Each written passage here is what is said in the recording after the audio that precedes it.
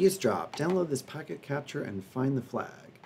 All we know is this packet capture includes a chat conversation and a file transfer. Right, so we have it here. And if we look through the packets,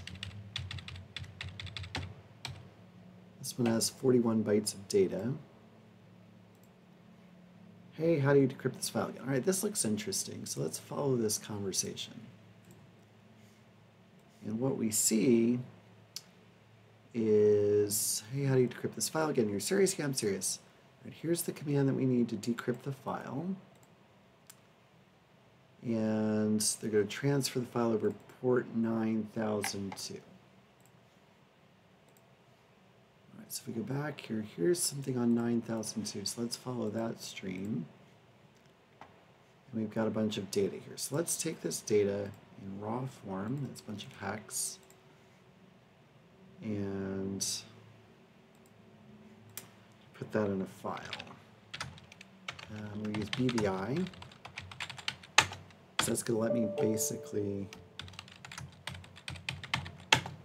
put in that hexadecimal data. So I inserted that, write quit, now I need to find that command again. So it's here in this traffic.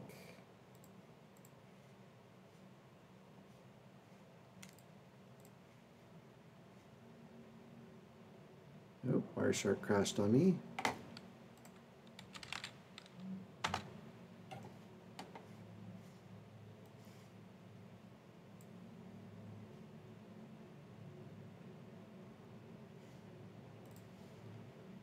Alright, let's load the file back up.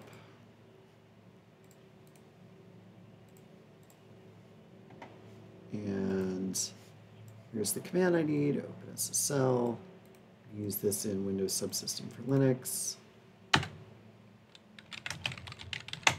There's my output file, netcat